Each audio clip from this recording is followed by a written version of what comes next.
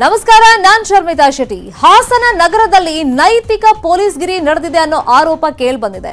ಅಲ್ಲಿ ಏನಾಗಿದೆ ಘಟನೆ ಅಂದ್ರೆ ಯುವತಿಯೊಬ್ಬಳಿಗೆ ಚುಡಾಯಿಸಿದ ಯುವಕ ಅಂತ ಹೇಳಿ ಆ ಯುವಕನನ್ನ ವಿವಸ್ತ್ರಗೊಳಿಸಿ ಥಳಿಸಿದ್ದಾರೆ. ಯುವತಿ ಜೊತೆಗೆ ಅಸಭ್ಯ ವರ್ತನೆ ಮಾಡಿದ್ದಾನೆ ಅಂತ ಆರೋಪಿಸಿ ಸ್ಥಳೀಯರು ಒಂದಿಷ್ಟು ಜನ ಏನ್ ಮಾಡಿದ್ದಾರೆ, ಆತನನ್ನ ಹಿಡಿದಿದ್ದಾರೆ, ಥಳಿಸಿದ್ದಾರೆ, ಜೊತೆಗೆ ವಿವಸ್ತ್ರಗೊಳಿಸಿದ್ದಾರೆ. ಆತ, ನಾನು ತಪ್ಪು ಮಾಡಿಲ್ಲ, ನನ್ನನ್ನು ಬಿಟ್ಟು ಬಿಡಿ ಅಂತ ಕೈ ಮುಗಿದು ಬೇಡ್ಕೊಂಡಿದ್ದಾನೆ. ವಿಜಯಪುರ ಮೂಲದ ಯುವಕ ಹಲ್ಲೆಗೊಳಗಾಗಿರೋದು. ಇನ್ನು ಜನನಿಬಿಡ ಪ್ರದೇಶದಲ್ಲೇ ಯುವಕನನ್ನ ಈ ತರ ಬೆತ್ತಲೆಗೊಳಿಸಿದ್ರಲ್ಲ, ಇದಕ್ಕೀಗ ಸಾರ್ವಜನಿಕ ವಲಯದಲ್ಲೇ ಸಾಕಷ್ಟು ಖಂಡನೆ ವ್ಯಕ್ತವಾಗ್ತಾ ಇದೆ. ಪ್ರವೀಣ್ ಹಾಗೇನೆ ಸಹಚರರು ಆ ಯುವಕನನ್ನ ವಿವಸ್ತ್ರಗೊಳಿಸಿರೋದು, ಬೆತ್ತಲಗೊಳಿಸಿರೋದು. ಮತ್ತೆ ಜನರು ಮುಂದೆನೆ ಈ ತರ ಎಲ್ಲ ಮಾಡಿದ್ದಕ್ಕೆ ಸಾರ್ವಜನಿಕ ವಲಯದಲ್ಲಿ ಈಗ ಆಕ್ರೋಶ ವ್ಯಕ್ತವಾಗ್ತಾ ಇರೋದು. ಈ ಬಗ್ಗೆ ಈಗ ಪೊಲೀಸರು ಒಂದು ಕಂಪ್ಲೇಂಟ್ ಅನ್ನ ರಿಜಿಸ್ಟರ್ ಮಾಡ್ಕೊಂಡಿದ್ದಾರೆ. ಘಟನೆ ಬಗ್ಗೆ ಸಾರ್ವಜನಿಕರು ಆಕ್ರೋಶವನ್ನ ವ್ಯಕ್ತಪಡಿಸ್ತಾ ಇದ್ದಾರೆ. Hey!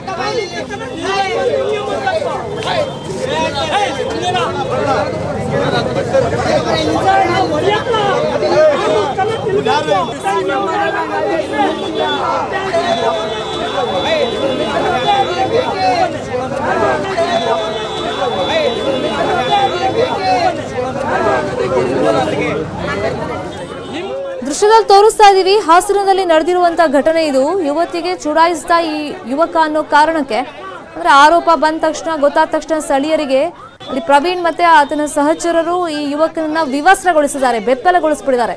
ಅಂದ್ರೆ ಸುತ್ತಮುತ್ತ ಜನ ಇದ್ದಾರೆ, ನೋಡ್ತಾ ಇದ್ದಾರೆ. ಆ ಟೈಮ್ನಲ್ಲಿ ಒಂದು ಆರೋಪ ಬಂದಿರೋದೇನು ಅಂದ್ರೆ ಹುಡುಗಿಗೆ ಈತ ಅಸಭ್ಯ ರೀತಿಯಲ್ಲಿ ವರ್ತನೆ ತೋರಿಸಿದ್ದಾನೆ ಅಂತ. ಆಕ್ರೋಶ ಬಂದಿದೆ. ಈ ಹಿಂದೆ ಸಾಕಷ್ಟು ಪ್ರಕರಣದಲ್ಲಿ ನಾವು ನೋಡಿದೀವಿ, ಆಕ್ರೋಶದಿಂದ ಥಳಿಸಿರೋದು, ಪೊಲೀಸರು ಬರ್ತಾ ಇದ್ದಂತೆ ಅವ್ರಿಗೆ ಹ್ಯಾಂಡ್ ಓವರ್ ಮಾಡಿದ್ದೆಲ್ಲ ನೋಡಿದೀವಿ. ಬಟ್ ಇಲ್ಲಿ ಪ್ರವೀಣ್ ಮತ್ತೆ ಸಹಚರರು ಏನ್ ಮಾಡಿದ್ದಾರೆ ಅಂದ್ರೆ ಆ ಯುವಕನನ್ನ ವಿವಸ್ತ್ರಗೊಳಿಸಿದ್ದಾರೆ, ಬೆತ್ತಲೆಗೊಳಿಸಿಬಿಟ್ಟಿದ್ದಾರೆ ಸಿಟಿ ಮಧ್ಯದಲ್ಲೇ. ಹಾಗಾಗಿ ಸಾರ್ವಜನಿಕ ವಲಯದಲ್ಲಿ ಈಗ ಆಕ್ರೋಶ ವ್ಯಕ್ತವಾಗ್ತಾ ಇದೆ.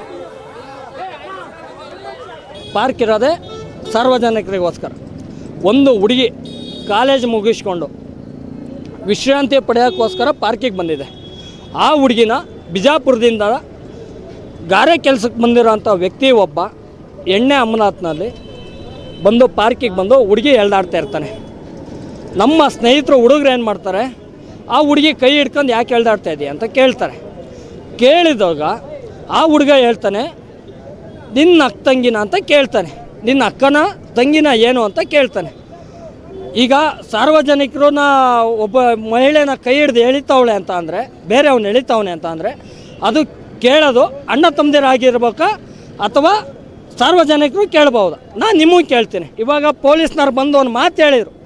ಏನಂತ ಹೇಳಿದರು? ನಿನಗೇನು ಸಂಬಂಧ ಅಂತ ಕೇಳಿದರು. ಅವ್ನು ಹಿಂಗೆ ಹೊಡಿತಾ ಇದೆಯಪ್ಪ ಅಂತ. ಇಷ್ಟು ವರ್ಷ ಇಡೀ ದೇಶದಲ್ಲಿ ಎರಡು ಸಾವಿರದ ಹತ್ತೊಂಬತ್ತರಿಂದ ಹದಿನಾಲ್ಕರಿಂದಲೂ ರೇಪ್ ಕೇಸ್ಗಳು ನಡೆದು ಅವ್ರಿಗೆ ಏನು ಶಿಕ್ಷೆ ಕೊಟ್ಟಿದ್ದೀರಾ? ಪೊಲೀಸ್ನವರಾಗಿರ್ಬೋದು ಕಾನೂನುಗಳಾಗಿರ್ಬೋದು, ಏನು ಶಿಕ್ಷೆ ಕೊಟ್ಟಿದ್ದೀರಾ?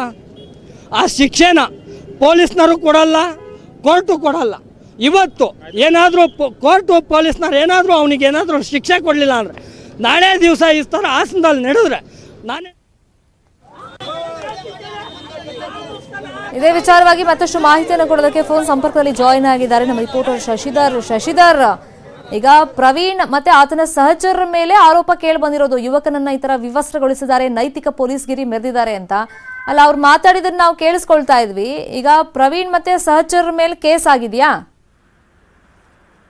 ಹಾ, ಹೌದು ಶರ್ಮಿತಾ. ಏನಂದ್ರೆ ಪ್ರವೀಣ್ ಹಾಗೂ ಇನ್ನ ನಾಲ್ಕು ಜನ, ಐದು ಜನ ಯುವಕರಿಂದ ಅವ್ರು ಯಾರಿಗೂ ಸಹ ಒಬ್ರಿಗೊಬ್ರಿಗೂ ಪರಿಚಯ ಇಲ್ಲ ಅಂತ ಹೇಳಿ ತಿಳಿದು ಬಂದಿರೋದು. ಯಾಕೆ ಅಂತ ಹೇಳಿದ್ರೆ ಆ ಹುಡುಗ, ಅಲ್ಲಿ ಹುಡುಗಿ ಯುವತಿನ ಚುಡಾಯಿಸಿದ್ರಲ್ಲಿ ಯಾರು ಸಹ ನೋಡಿಲ್ಲ. ಆದ್ರೆ ಯುವಕರು ಗಾಂಜಾವನ್ನ ಸೇವಿಸಿದ್ರು ಅಂತ ಹೇಳಿ ಈಗ ಸ್ಥಳೀಯರು ಸಹ ಒಂದು ಆರೋಪವನ್ನ ಮಾಡ್ತಾ ಇರೋದು.